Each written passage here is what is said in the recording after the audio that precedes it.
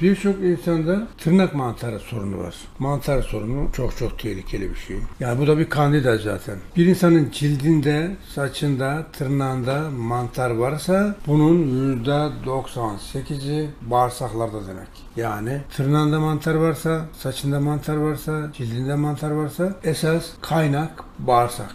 %98'i oradadır. Az bir kısmı dışarı artık atıyor. Evet, şimdi kandida deyince basite algılayacaklar. Kandidanın özel bir yapısı var. Kendisini T hücresi, B hücresi, makrofaj, bağışıklık sisteminden koruyan bir sistemi var. Kandida mantarının dış zarı, hücre zarı kitinden oluşur. Çok sert bir yapı. Kimyasal veya doğal ilaçlar etki yapmıyor. Bunun dış zarı, hücre zarı kitin altında 1,6 glukan, daha altında 1,3 glukan, glukan türevleri içerir. Yani stabil bir yapıya sahip hücre zarı. Bu nedenle doğal veya kimyasal ilaçlar kandidayı kolay kolay yok edemez. Aslında herkeste kandida var. 300-500. 300-500 iken insana bir zarar vermez. Fakat ne zaman ki insanoğlu kimyasal ilaç kullanırsa antibiyotik, antihistaminik, antidepresan vesaire vesaire ne yapıyor? Kuduruyor, değişiyor, dönüşüyor, kuduruyor. Hif oluşturuyor. Hif. Yani matara gibiyken burada el bombası gibi, kırbaç gibi. Arkasından kol gibi bir kuruk çıkıyor.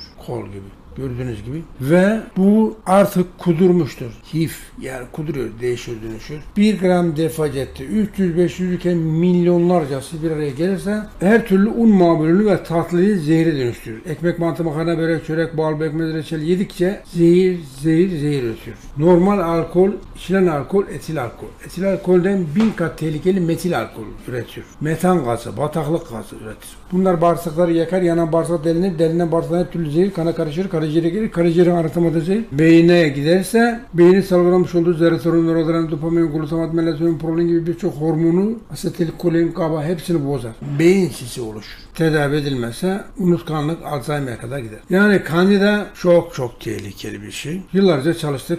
Damla sakızı macunu ürettik. Midede gastrit, ülser, reflüye karşı. Fakat ballı olduğu için sorun oldu. Kandida olmayanlar için damla sakızı ideal gastrit, ülser, reflü, bakteriye karşı, helikobakter pylori'ye karşı. Bu nedenle mastikam kapsül ürettik. Kandidaya karşı da etkili. Mide bağırsak rahatsızlar için. Şimdi de damla sakızı yağı ürettik. Tırnak mantarı, saç mantarı, cilt mantarı. Harici olarak da kullanılır, dahil olarak da kullanılır. İçilir az bir şey. Böyle çeviriyorsunuz, çalkalıyorsunuz, içiyorsunuz. Evet, böyle bir şey ürettik.